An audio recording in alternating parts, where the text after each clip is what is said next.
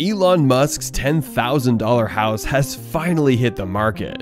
The outer wall is unfolded and in turn becomes a floor revealing the two side walls. Once you unfold the roof, it covers the whole structure. The box home is composed of five rooms. You will find a living room, kitchen, bedroom, bathroom, and a media room. Inside the house, you will discover several gadgets every home should own such as a dishwasher, washing machine, a refrigerator, an oven, a microwave and a built-in ironing center. The entire house is equipped with low energy technology to reduce the utility bill paid on a monthly basis that costs around $250. The home requires some lifting by machinery, but most of the other things can be set up by human beings and can take about an hour to complete.